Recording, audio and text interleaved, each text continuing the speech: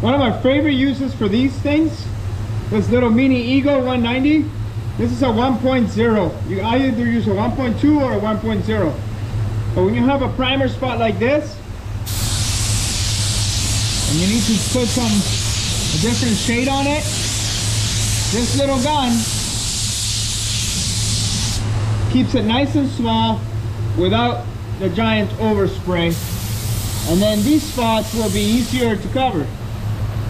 So you can I you can also do this, right? So then you'll have the same right? You keep it small, keep it simple. That's why I have one of these handy at all times. They're available on the website. I have $47 off on them right now. Go check it out. Uh, I'll have the discount for, let's say, a week. All right? Hope you like it. Love it. What's up, Joe? Uh, just a quick video. Well, let's hope it's quick. laying down the wet bed mostly here doing two doors so these are my blends I had a mini jet uh, my Eagle 190 with some shade right to blend in that color and that way I'll have the same color here that I do over there okay this, I mix it four to one. Okay, this wet bed T490, four to one. And I spray it with a 1.2 because I want it to be, lay on there. Nice, nice, nice, nice, nice.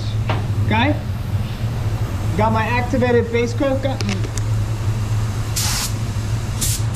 Um, go check out the video before this one. I think it was painting with Gabriel number three where I'm doing a hood. And I tell you exactly the ratio of what I mix, how I mix it. I'm going to 15 psi. Now, I'm going to show you a little bit just how to make the blend easy. So, you see that? You see what I'm doing there? I'm just letting the gun do the work.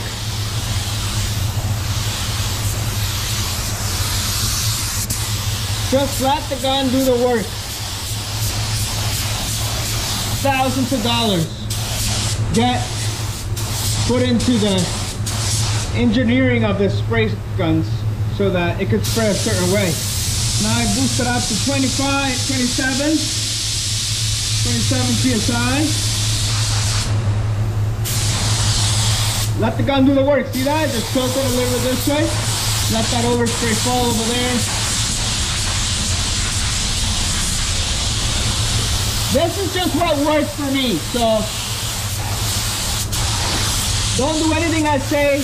I'm just showing you how I do it for your entertainment purposes. Entertainment purposes, okay?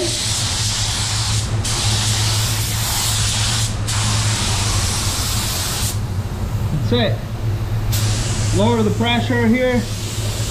I know it's a little bit of a mess here. We're just gonna cover this. Unfortunately, not getting paid for that, so we can't really fix it.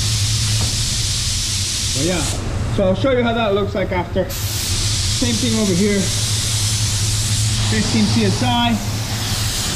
You want to move. You don't want to go too slow. But you want even so. Sure you get your edges. I wanted to show you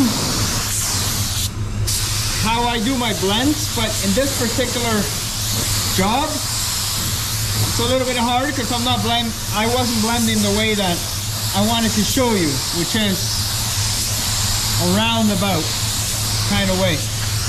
And it works for me every single time. 27 psi. And we go a little bit slower to get that even coverage. This color uh, doesn't cover very well at all, so I will be putting another coat on after I dry this. I put the blowers on this to make sure it's dry. There's no moisture trapping, anything like that.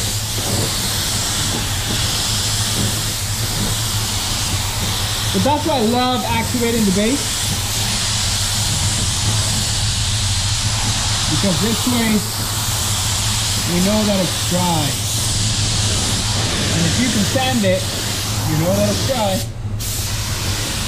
Beauty. Okay, let's see if we got coverage. Uh, nope. oh yeah, it looks covered. Nope. How about that? That's when these lights come in handy. You can see everything. Love it.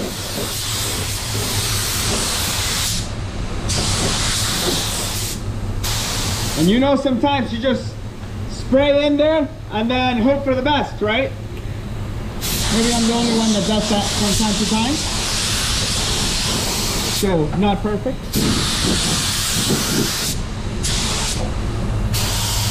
Oh yeah, that's awesome. Now I can see. Beauty.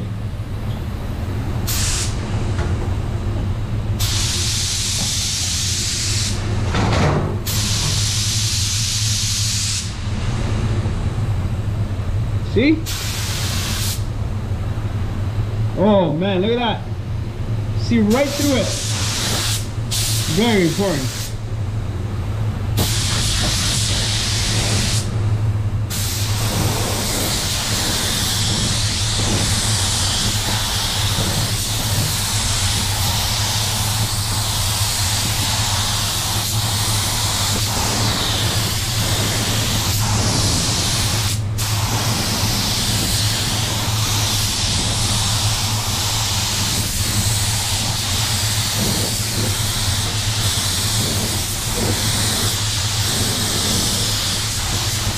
Beautiful.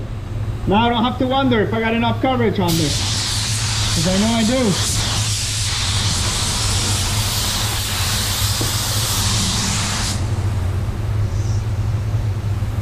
Same here.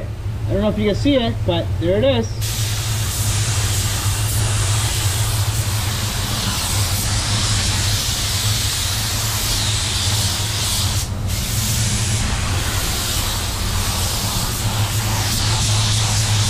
You know, at first I thought these things were very gimmicky. I'm like, ah, what the hell?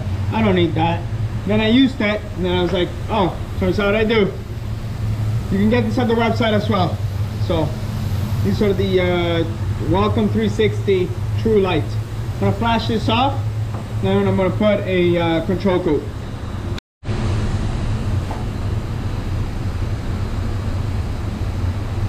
All right.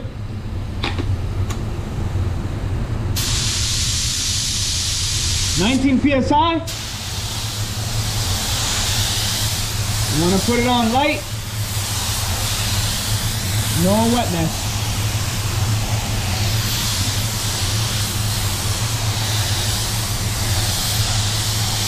That's it, baby. Woo!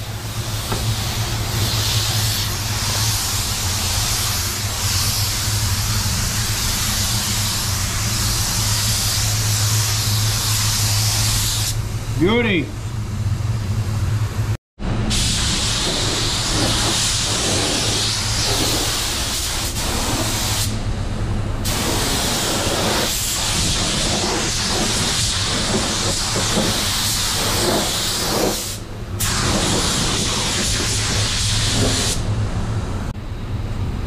EC530, everything mixed accurately.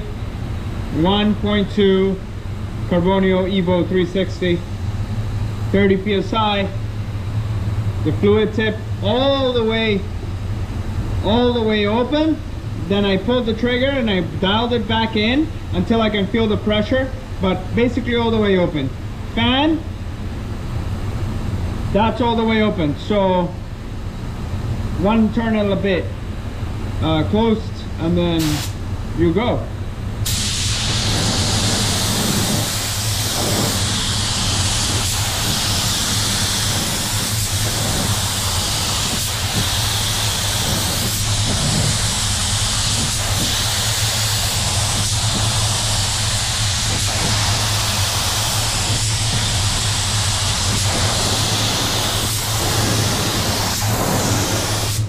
First coat, kind of fast, kind of easy. Probably about maybe eight inches away, six, to eight inches away. 90% overlap, easy.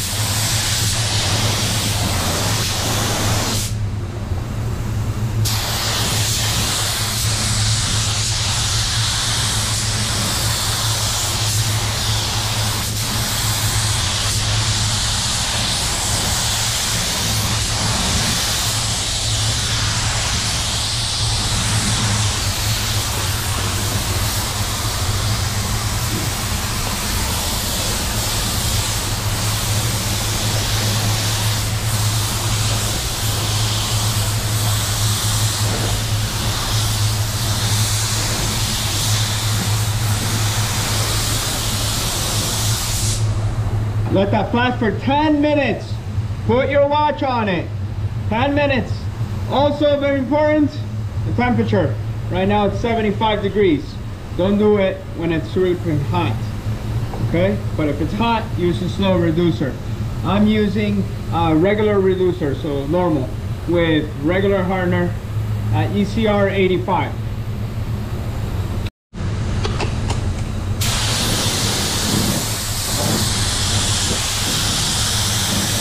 So it's still at 30 psi.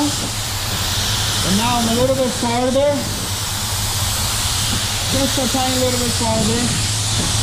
And I'm also going slower.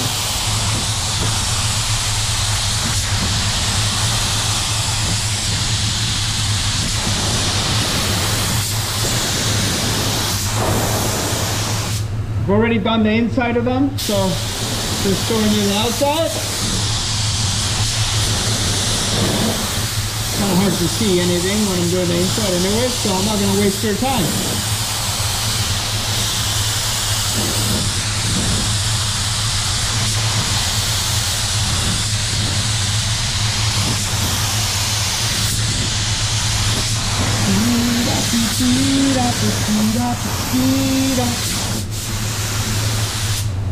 Woo!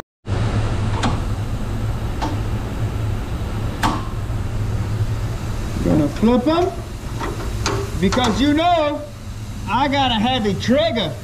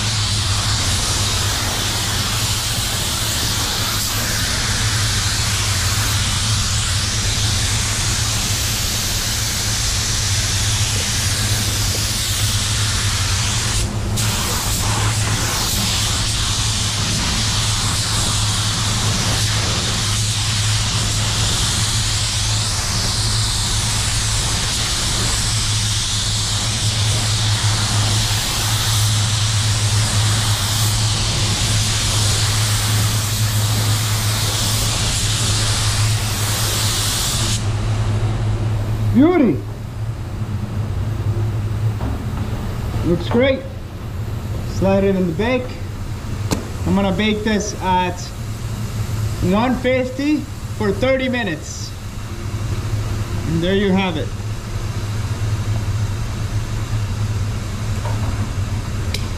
Little nip there, nothing crazy. I mixed uh, 30, 31 ounces. Still got a little bit left not too much so anyways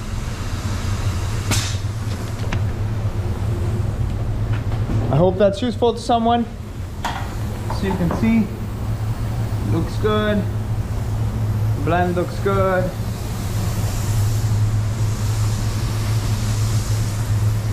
I'll do another video of showing you what the best way is to using the gun to your advantage. Okay?